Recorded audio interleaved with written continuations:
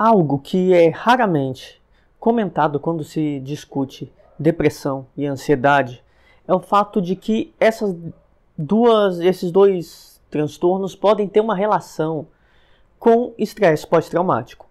Podem inclusive ter uma origem traumática e ser bastante pouco comentado, embora quando a gente se depare com um paciente na clínica, né, seja bastante comum que as origens, digamos, familiares, ou as experiências de juventude dessas pessoas, ou as experiências na, no início da vida adulta, reforçando experiências traumáticas de juventude, também tenham sido traumáticas. Né? É muito comum que o histórico de pessoas que têm uma depressão mais grave e uma ansiedade mais grave, que a gente poderia chamar de depressão crônica ou ansiedade generalizada, envolva estresse pós-traumático. A gente pode pensar que uma depressão mais simples e uma ansiedade relacionada a um contexto, por exemplo, você ter crise de ansiedade no seu trabalho, ou lidando com um familiar específico, ou relativo a algumas atividades do cotidiano, pode não ter relação com trauma. Ou uma depressão devido a ter uma série de, digamos, perdas, né? Por exemplo, é muito comum que as pessoas fiquem deprimidas se elas têm perdas no trabalho, ou ter perdas familiares, como um luto difícil, a perda de alguém, né? Então é comum que isso possa acontecer em um ou outro evento esporádico na vida. Quando falamos, no entanto, de depressão crônica e ansiedade generalizada, que são mais graves, mais persistentes, provavelmente existe uma série de eventos traumáticos encadeados que poderia é, se caracterizar um estresse pós-traumático complexo, se ligando e provocando esses efeitos como depressão e ansiedade. Né? É, eu chamo atenção para isso porque é pouco comentado. E é pouco comentado também que, se alguns contextos produzem depressão e ansiedade, como se dá o tratamento? Se afastando ou evitando um pouco esses contextos, ou tentando mudar esses contextos. É, não é possível tratamento eficaz de depressão e ansiedade sem mudança na vida das pessoas. Bom, nesse vídeo então eu vou falar sobre essas possíveis origens traumáticas da depressão e da ansiedade, principalmente dessas mais persistentes, como a depressão crônica e a ansiedade generalizada.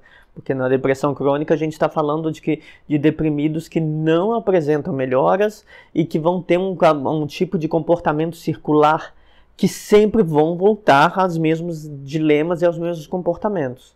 Né? Digamos, vão sempre pensar que vão fracassar, aí ou tomam atitudes que levam ao fracasso ou não tomam nenhuma atitude e ficam permanentemente imobilizados, mesmo com apoio.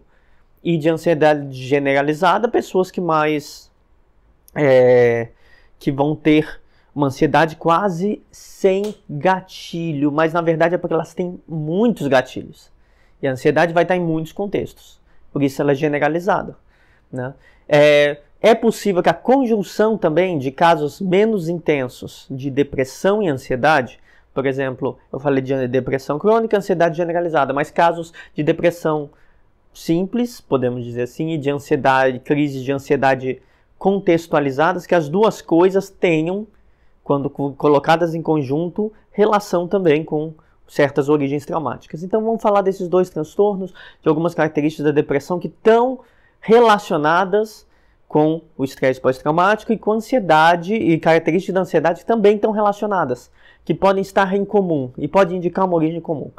Bom, primeiro na depressão, deprimidos tendem a ter distorções cognitivas. O que é uma distorção cognitiva? É um enviesamento de um evento. Você vê algo acontecendo e você tende a distorcer aquilo para alimentar uma crença né, enrijecida, uma crença de difícil mutabilidade. Qual é o caso dos deprimidos? Nunca vão conseguir dar certo, não vai funcionar, não adianta eu tentar. Essas crenças ligadas a não tentar e a resignação. Né? É, isso pode ter se formado, no caso da depressão, em contextos traumáticos de pessoas que tentavam sair de uma situação que lhes causava sofrimento e continuamente não achavam soluções. Quem passou, por exemplo, famílias abusivas, como uma criança sai de uma família abusiva? Não sai. Ela fica continuamente sofrendo. Então, esse tipo de contexto pode produzir esse tipo de distorção de que não adianta eu tentar, porque não vai resolver, porque, sei lá, eu conversava com meu pai, com a minha mãe, e eles me castigavam do mesmo jeito, mesmo conversando. Só que no mundo adulto é outro, mas as crenças podem permanecer. Uma segunda característica da depressão que pode ter uma origem traumática é a incapacidade de ação. É muito comum que deprimidos não consigam tomar decisões ou quando tomam decisões não consigam levar elas adiante e agir. Você não consegue mudar sua vida, é como se tivesse travado. Isso também pode ter relação com uma origem traumática.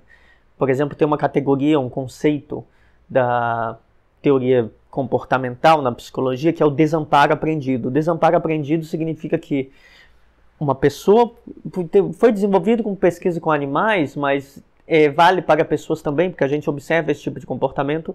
Quando você tenta sair de uma situação ruim para você e é punido, você busca uma outra solução, é punido, você faz as coisas certas para resolver esse seu problema e é punido, você qual vai ser a sua sua a solução para isso? Nenhuma. Você desiste né? Aí, por exemplo, você vê que tudo que você fizer vai dar errado. Quem cresceu tem traumas relativos a contextos altamente punitivos pode desenvolver essa característica de incapacidade de ação que no comportamentalismo é chamado de desamparo aprendido. Terceira característica da depressão que também pode estar presente, que é presente às vezes no estresse pós-traumático e pode indicar uma depressão de origem traumática é a dissociação. Dissociar é, é difícil descrever a dissociação, porque a dissociação é uma experiência dissociada do corpo, é quando você perde meio com, contato com o presente. Pessoas dissociam muitas vezes ficando, por exemplo, deitada, acordada por horas e depois, sei lá, não lembra do que estava nem pensando. Uma desconexão com o corpo, ou de ficar se observando, ou, ou parado durante horas e não saber nem o que se passava na sua cabeça. Você está avoado, você está dissociado do seu corpo do, seu, da, do presente. Né? Então essa disso dissociação pode ser um, estar presente na depressão, pode estar presente no estresse pós-traumático e a gente pode indicar que essa depressão tem uma origem traumática se ela também estiver presente, junto com essas outras características, principalmente se houver um gatilho que te leva à dissociação. Digamos, um pensamento, alguma coisa que alguém fez, você fica tão triste que começa a dissociar se houver um gatilho, a tendência é que, que então tenha uma origem traumática que aí se principalmente se esse gatilho levar à dissociação. É, há uma tendência também na depressão de remoer eventos, né? Ficar remoendo, é, ficar se culpando.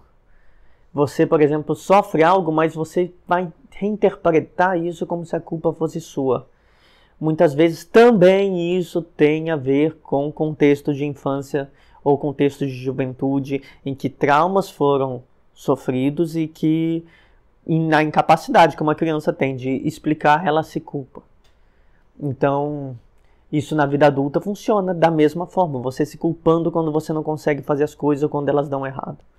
É, então, o que a gente tem aqui nesse quadro de uma depressão de origem traumática, esses aspectos, distorções cognitivas, incapacidade de ação, dissociação, esse elemento da culpa. Então, esse paciente, essa pessoa que sofre com isso, se você está sofrendo com isso, se, provavelmente que isso esteja relacionado a um negativismo, então a distorção cognitiva aparece como negativismo, é, com uma dificuldade de ter um humor consistente, então tem um elemento de desregulação emocional que também é comum com o estresse pós-traumático, só que não necessariamente para raiva, mas para incapacidade de se manter feliz durante muito tempo. Qualquer um gatilho pode, ao invés de levar à dissociação, levar a um abalo de humor que te joga para uma desregulação emocional não explosiva ou impulsiva, mas para infelicidade. De volta. Né? É muito difícil manter uma consistência de emoções positivas e uma pequena alteração que te leva a um pensamento negativista pode te jogar na desregulação emocional de infelicidade. Né? Também é costume comum, e aí no estresse pós-traumático, principalmente nas pessoas que, devido ao estresse pós-traumático, desenvolveram codependência, eu faria um vídeo também sobre isso, é, que tenham, e pessoas que têm depressão, devido a esse estresse pós-traumático que tenham baixa autoestima e baixa autoconfiança. As duas coisas são diferentes. A autoestima tem a ver com você se aceitar e gostar de você próprio, e a autoconfiança tem a ver com sua, você acreditar na sua capacidade de fazer as coisas. Pessoas que além de serem punidas, invalidadas num contexto de maneira persistente, sofrem muitas críticas, elas podem ter baixa autoestima e baixa autoconfiança. Críticas excessivas podem levar à depressão dessa forma.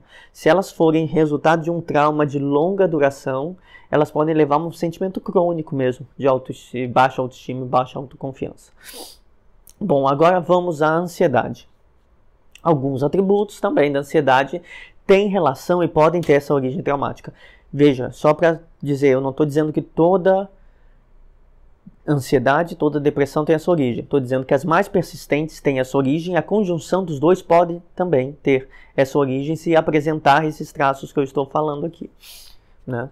É, no caso da ansiedade, medo persistente de tomar iniciativa, bem parecido com a incapacidade de ação. Só que agora não é porque você desistiu, desiste e não consegue, é porque você tem medo de uma suposta punição, né? Digamos que você foi uma pessoa que tudo que você fazia era castigado, uma coisa, situação muito parecida.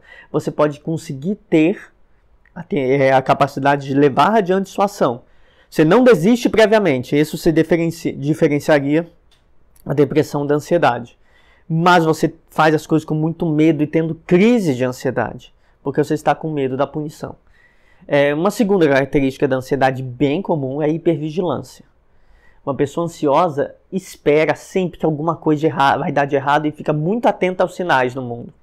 Você está sempre alerta, você tem dificuldades para dormir quando, quando vai ter que lidar com algo que exija confrontação. Você tem dificuldade de se é, regular emocionalmente quando você está na expectativa de algo porque você imagina que vai dar errado e você vai buscar sinais de que aquilo vai dar errado. Então, porque está com medo, né? Então tem relação com medo é, essa hipervigilância pode vir também no contexto traumático. Se você a todo momento que acalmar seus pais, se a todo momento você poderia sofrer agressões ou bullying na adolescência, por exemplo, você fica alerta para quando isso vai acontecer, mesmo na vida adulta. Uma terceira característica da ansiedade, essa que é ansioso sabe que é difícil também, que é impulsividade. Pessoas ansiosas tendem a ser impulsivas porque elas ficam desreguladas emocionalmente mais fácil devido a esses dois atributos anteriores. Estar com medo de que algo dê errado, isso fica fazendo você pensar de uma maneira é, muito frequente nos seus medos, na, no que você não quer que aconteça. Isso faz com que você perca a nossa noite de sono, isso faz com que você fique hipervigilante buscando sinais que as coisas vão dar errado. E a, e a característica, por exemplo, de você ficar sempre pensando em algo, com medo que aconteça, muito desregulado emocionalmente por causa disso e ainda dormir pouco, é impulsividade. Então você pode agir mal baseado nessa sua expectativa de que algo errado vai dar acontecer virá a acontecer. Então, agir mal, agir de uma maneira impensada em alguns contextos. É, é característica também da. A gente pode relacionar a essa ansiedade de origem traumática é ter pensamentos confusos e desorganizados, principalmente então nesses casos de origem traumática, você pode não entender bem o que está causando sua ansiedade, você só ficar confuso e não saber bem o que está acontecendo, ter dificuldade de interpretação dos contextos em que você está, de tão, de tão desregulado que você pode estar tá ficando. Veja, essa desregulação é bastante comum, bastante presente no estresse pós-traumático. Então, você ficar com a cabeça sem conseguir entender as relações ao seu redor, sem conseguir entender o que está se passando, pensamentos confusos mesmo, confusão mental. é, é e se sentir muito sob pressão nesse, nessa situação, de estar confuso, com vontade de tomar decisões impulsivamente, hipervigilante, então você vai se sentir sob pressão, né? Isso às vezes leva a um colapso, numa crise de ansiedade mesmo, né? É uma característica então da, dessa da, da ansiedade, eu falei que, que na depressão está presente uma ideia de que se remói os erros e se sente culpa. Na ansiedade está presente um sobrepensar, um pensar demais que gera, ao invés de culpa, angústia. Angústia, você está angustiado sobre o futuro. Eu digo que uma diferença da depressão para a ansiedade é que a depressão é sobre o passado, sobretudo. O que aconteceu e que você evita. E a ansiedade é sobre o futuro é sobre o que você quer que, não, mesmo agindo, não venha acontecer. Digamos, tem um componente maior de ação na ansiedade, um componente maior de não ação, inação na depressão, mas se, e aí você pensa, como as duas coisas podem estar juntas? Às vezes não estão, e elas estão só quando, no, não só quando, mas recorrentemente quando tem uma origem traumática, que gera pensar, comportamentos contraditórios. Nem todo mundo sofre das duas coisas juntas, tá? É muito comum que se tenha diagnósticos, a meu ver, equivocados de pessoas que têm depressão e ansiedade. É, quando tem as duas coisas juntas, é bom se levantar a hipótese de se não, isso não é um estresse pós-traumático. Se não tem, se não, é, pode ser que seja uma ou outra e o diagnóstico só foi equivocado. Mas quem sofre de ansiedade sofre uma angústia sobre o futuro. O que, que eu quero dizer? Então, vamos lá, retomando a relação com o estresse pós-traumático. E pensando nessas características desses dois transtornos que eu enumerei, que eu discuti agora. Contextos traumáticos podem produzir ambos.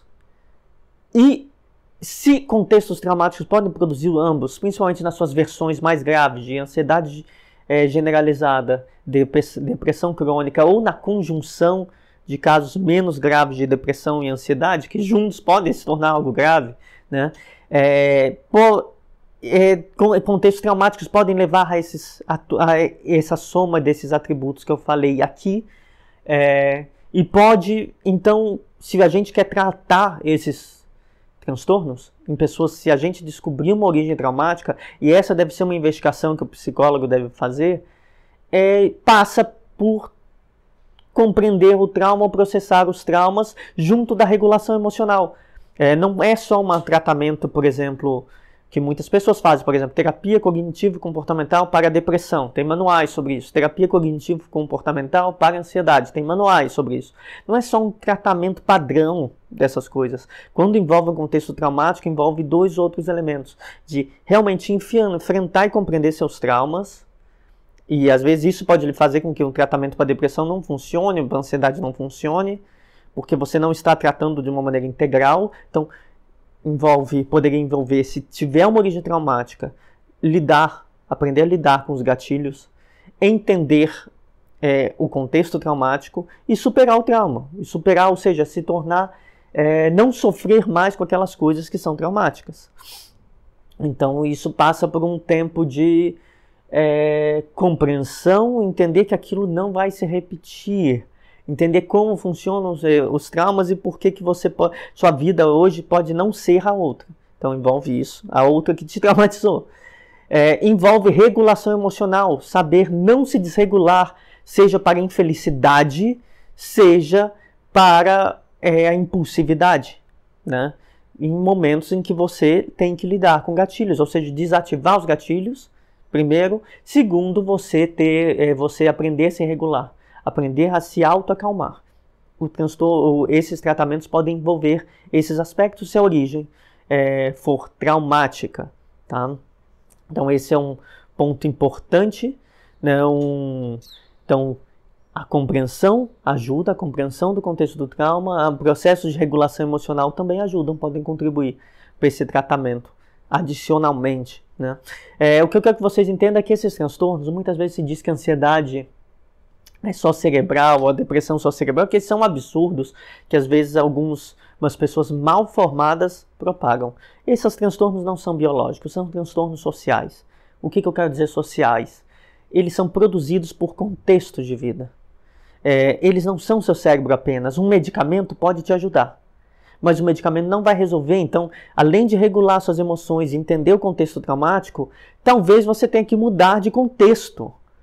Porque se um contexto está te retraumatizando, por exemplo, sua família que te causou depressão devido aos vários traumas familiares. Se um contexto de bullying, preconceito, racismo, exploração, violência te causou isso, você tem que sair desse contexto. Não adianta só você aprender a se regular emocionalmente e aprender a entender por que, é, o que aconteceu com você e que aquilo pode não se repetir se aquilo pode sim repetir-se e você vai ser constantemente desregulado por um contexto. Então, se são contextuais os transtornos, porque o cérebro, na verdade, ele assimila os contextos, ele é neuroplástico, ele se molda aos contextos. Se você ficar no contexto, você está fazendo que seu cérebro se mantenha daquele jeito. Você tem que sair desse contexto para o seu cérebro mudar. Então, além de todo esse tratamento, é importante no mínimo, a, a aprender a se regular emocionalmente, se não puder fazer um tratamento psicológico, aprender a se regular emocionalmente, aprender a lidar com seus, compreender seus traumas lidar com eles, né, e para ter uma vida mais significativa, é importante que você tenha novos contextos de vida, novas experiências. A compreensão e a regulação emocional são duas partes ali. Só que tem uma terceira, que é ter novas experiências de vida, ter novos contextos longe da retraumatização, né? Então você vai desenvolver métodos para regulação emocional. Eu falo muito disso aqui no canal. Volte uns vídeos aqui para baixo lá no meu é, na página inicial do meu canal que você vai encontrar regula coisas sobre regulação emocional. É, é, importante então a compreensão do contexto traumático e a regulação emocional. Só que é importante que você mude de vida. Né?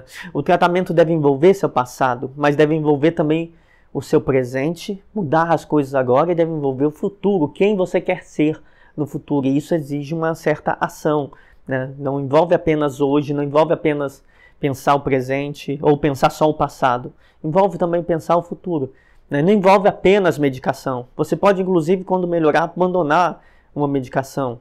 Se você processou seu trauma. Se origem traumática, uma vez resolvida, você não fica dependente de remédios para o resto da vida. Mas há necessidade, isso é importante, de um contexto longe da situação traumática um contexto, por exemplo, se seu trauma vier por discriminação, preconceito, um contexto de preconceito discriminação não vai ajudar. Você pode tomar um medicamento que foi estar na psicoterapia que for, não vai ajudar. Mas pode ser que a mudança de contexto ajude tanto ou mais do que uma psicoterapia ou é, um medicamento, porque você vai sair daquele contexto. No início vai ser sofrido, mas dotado de informação, sobre como é o estresse pós-traumático e como se regular emocionalmente, você pode mudar sua vida mudando o contexto. Não é simples, tá? Mas o como você tem que estar tá longe do trauma, não se retraumatizar. Isso é bem importante.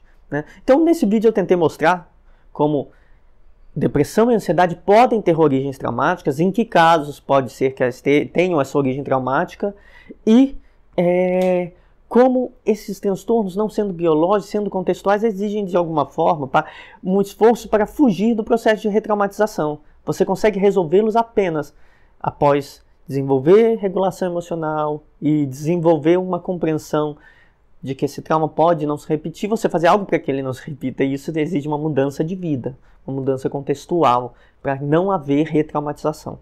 Então é isso, agradeço a todos que estão aqui.